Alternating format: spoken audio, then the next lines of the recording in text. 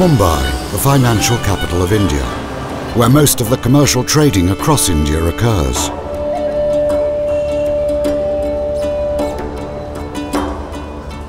Its culture is a blend of traditional festivals, food, music and theatres. This city offers a cosmopolitan, diverse and colourful lifestyle.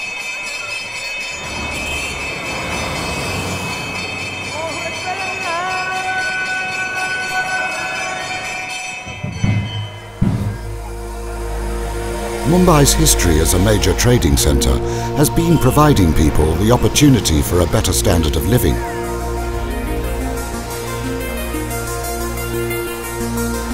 Most people across the country believe it to be the city of dreams.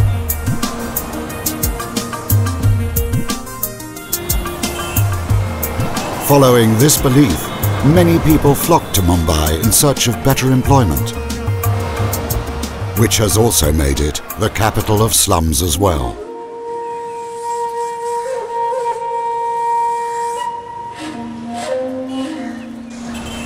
About 60% of people stay in slums and shanties, which hardly have access to civic amenities.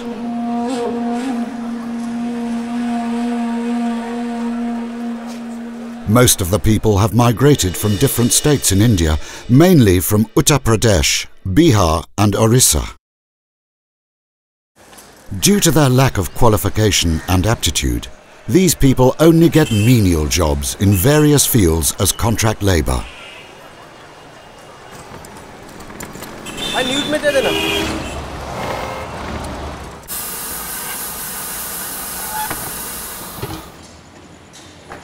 One of the jobs being ship breaking.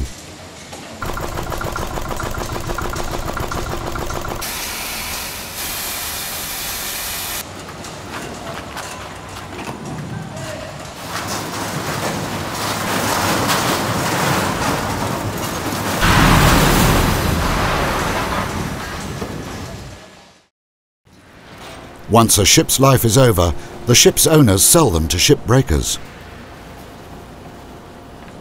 They then decide in which country they want to break it.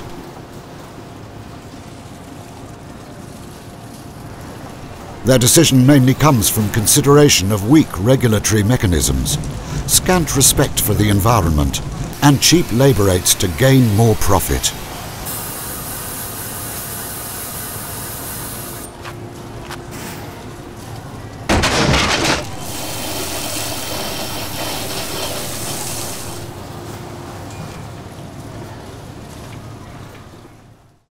China, Bangladesh, India, Pakistan, and Turkey are such countries that break ships around the globe.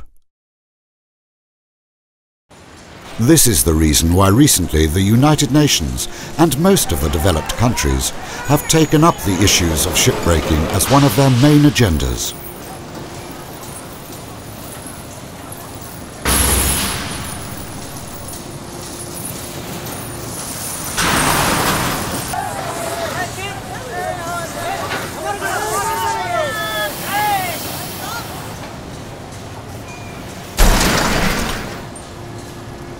Today, shipbreaking is considered as one of the most hazardous industries in the world.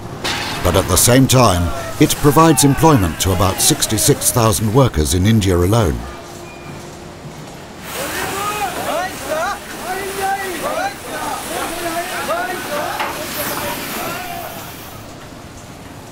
Out of these, 60,000 work in Alang, Gujarat, which is the world's largest shipbreaking yard stretching over 10 kilometres length by joining two villages, Alang and Sosia, the twin villages as they call it. The remaining 6,000 work in a city like Mumbai. Even with such a huge workforce and the hazards involved to the workers, their conditions are as bad as the birds at these shipbreaking yards. Birds that have to make their nests using the cold metal wires, since they have no other choice left.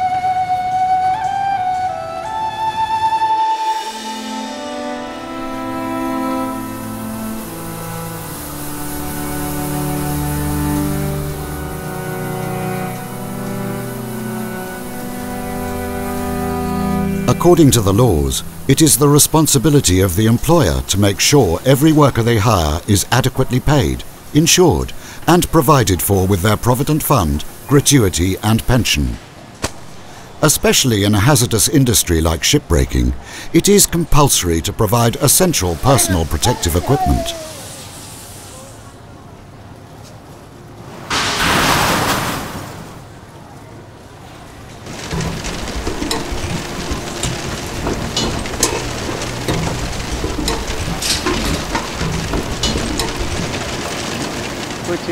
कुछ नहीं है। खाली बस helmet कभी साहब लोग check करने आता है तो हेमले, हेलमेट दे देता है लोग। सेफ्टी सूट कुछ नहीं देता है लोग। जी हाँ एक काम करो। अभी तो यही चल रहा है जी।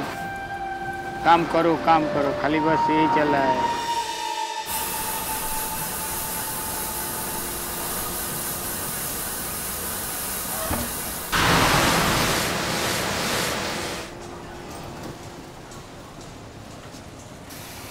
All of these workers who join the yards at Darukhana, Mumbai, receive no training and knowledge about shipbreaking.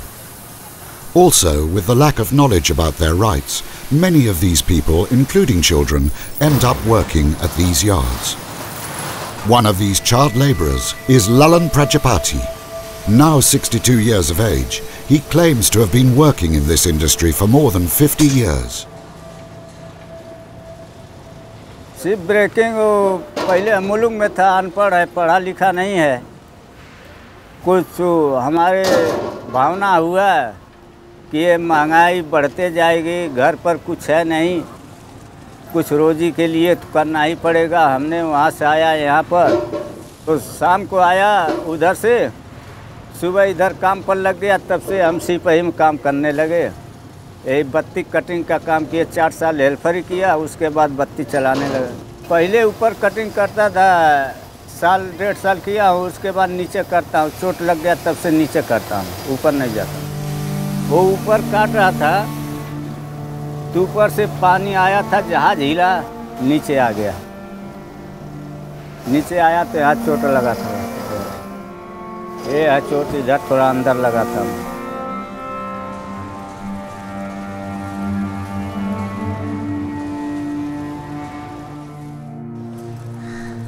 Lalan stays with his family near the yard as a slum dweller.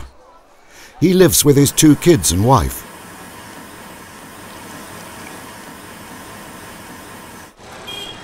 His eldest son works as a mechanic, while the younger one is in second grade at a public school. Due to no public transportation available close to the yard, Lalan's wife has to take the younger son to school every day, which is a humid 30 minutes walk from their home.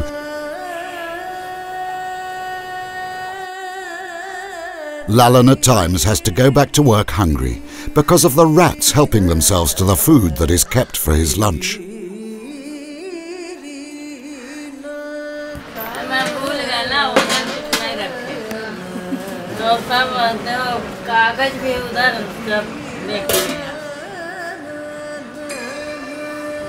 The lack of electricity and no water supply makes it difficult for his family to sleep and cook food. पानी अभी साहब पानी तो अभी सब लोग खरीदते हैं दारू खाने में। अगर वो भी समय से न बने तो पानी नहीं मिलता है।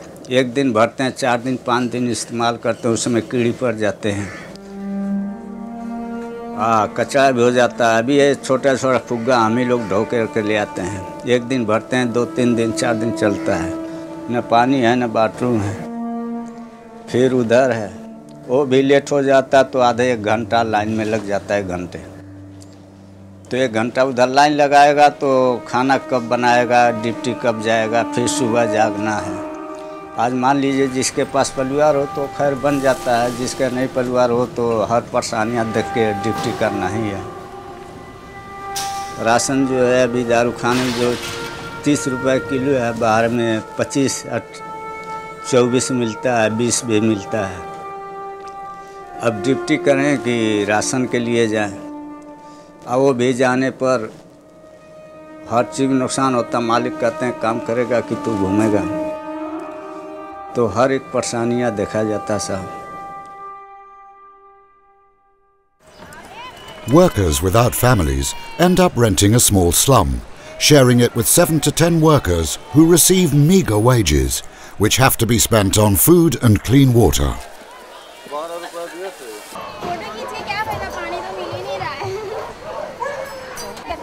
At Darukhana, there are very few water pumps available.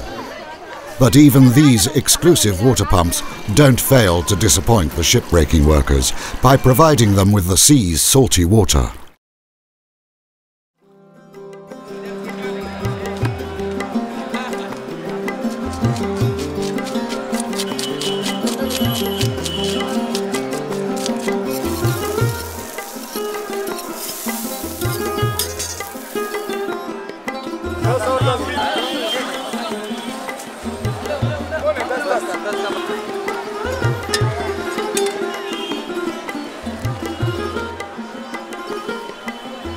Brought from a market at Darukhana only ends up eating into the lion's share of their income. In the end, something as simple as basic hygiene ends up as a luxury for the workers in the yard.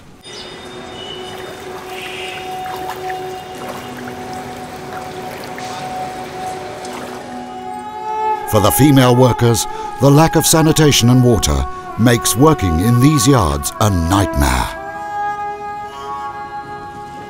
But they have no choice but to bear with it for the survival of their families. Some of these women have even lost their children to disease and infection. मजबूर है क्या करेगा मजबूर के लिए तो आता काम करने के लिए आदमी नहीं है बच्चा लोग भी बराबर घर पे खाना नहीं देते इसके लिए बहू लोग भी ठीक नहीं है बराबर खाना गिना नहीं देता, इसके लिए काम पे आता है। दो बच्चे हैं। बेटी का, बेटी भी मर गया जवा भी मर गया, दोनों मर गया। इसलिए काम करना पड़ता है।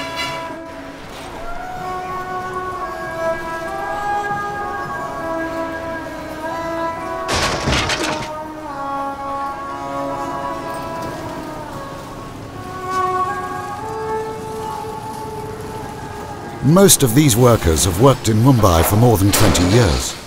But even then, they cannot get any proof of identity in the occupational state they are working in.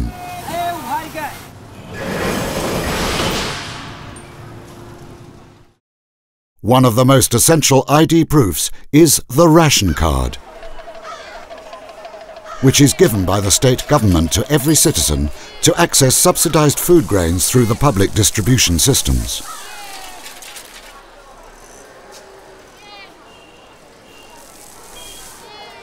Without a ration card or any proof of address, they can't even get a voter's ID, and they are deprived of their voting rights and hence are ignored by the politicians. This happens solely due to the reason that the employer is not ready to provide any proper proof of them working in the yards, such as no written documents and no proof of contract between employer and employee.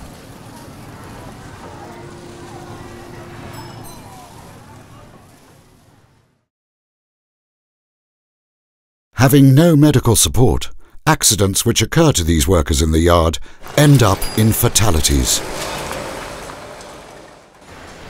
While shooting for this documentary, our crew were made aware of the frequency of the accidents that occur in these yards. On the 9th of August 2012, at yard number 4, a 26-year-old Orissa-born worker, during lunch break, was chatting with his younger brother near a metal block, unknown to the crane man who turned the crane. And this resulted in the 26-year-old being brutally crushed between the crane and the metal block.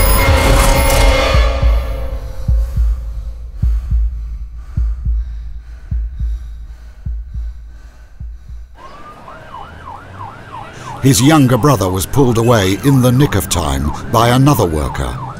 But by the time the elder one was taken to the hospital, he was already declared dead.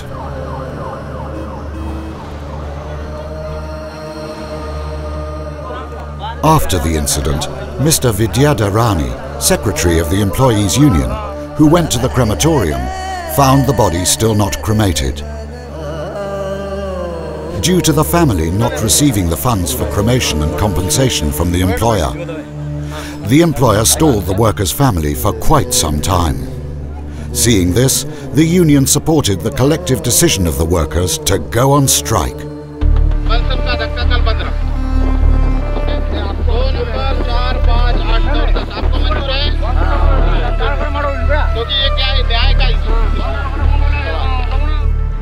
The very next day, workers all across the yards withdrew their labour. After only one day had passed, at the end of it, the deceased worker's family received a compensation of 700,000 rupees.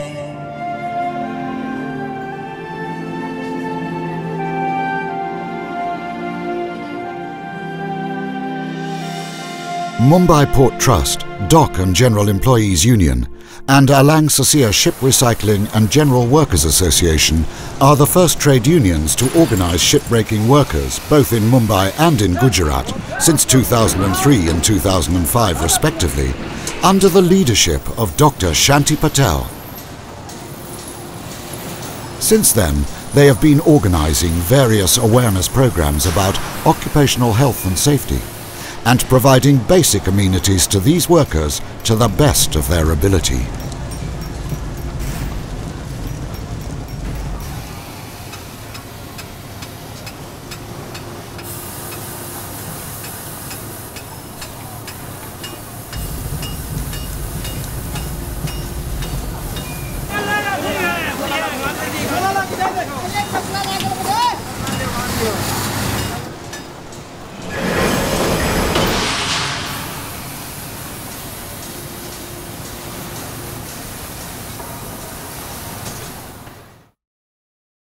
ये कि हमारा फ़र्ज़ है, हमारा duty है कि हम लोगों को, इन लोगों को संगठित करके उनकी जो मुसीबतें है, वो दूर करना चाहिए। मेरा इतना नहीं, लेकिन हमारा जो यूनियन है, बहुत पुराना यूनियन है। यानी नाइन्टी टू बारह साल का 1920 में जिसकी स्थापना की, इस यूनियन ने उस जमाने में जो मजदूरों का शोषण होता था, ऐसे जमाने में यूनियन की स्थापना की थी मालिक भी खिलाफ थे। ऐसी परिस्थिति आज हमारे जहाज़ चोरने वाले मजदूरों की है तो उनको भी संगठित करना और उनके दुख को दूर करना ये हमारा कर्तव्य है हमारा फ़र्ज़ है हमारा ड्यूटी है।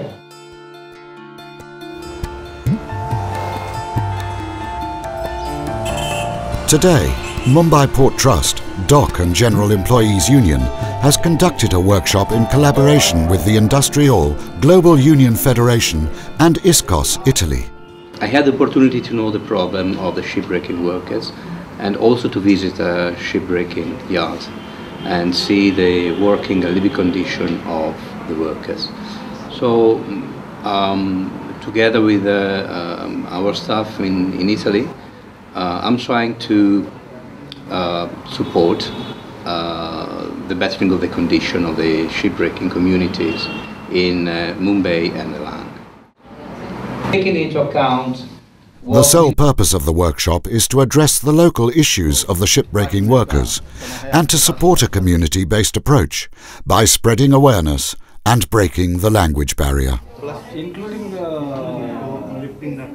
Representatives from trade unions, industrial, NGOs, women's self-help groups and shipbreaking workers have attended a workshop where the workers discussed their problems and they came up with solutions. ये तो भी समझो आज काम पे निकल दिया तो कुछ ये नहीं है बहुत सारे सपने लेकर यहाँ आते हैं फैमिली को गांव छोड़ के बाद में उनको ही लेके आएंगे लेकिन आप ही अ, मतलब सेटल नहीं है तो आप उनको क्या सेटल करो तो सब प्रॉब्लम होता है या टेम्पररी रेशन कार्ड गवर्नमेंट में से रजूआत करके ये लोग यहाँ काम करने आए हैं उसको टेम्पररी रेशन कार्ड दो ऐसा डिमांड करना चाहिए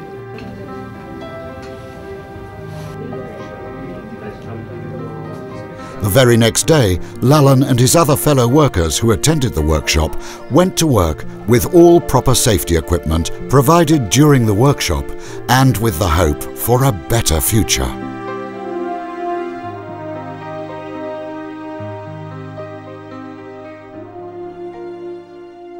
ये जो डिस्कट जो आज मीटिंग में हुआ है, आज या कल, इसको पूरा होगा। ये नहीं है कि आज ही हो जाए। उसको यूनियन हम या धनी को मिला कर के पार्टी को हम लोग आगे धीरे धीरे उसको बढ़ाते हैं। छोटा से वो बड़ा होता है। धीरे धीरे वो जाते जाते चौथे मंदिर, पाँचवें मंदिर, आठवें मंदिर पहुँचता है। ऐसे एक बैग नहीं जाता है। आने को तो जल्दी आएगा, लेकिन जाते समय लगता है। इसलिए को सारे निष्कर्ष जो है, ये पूरे उम्मीद है हमारा, कि यूनियन ये पूरा करेगी।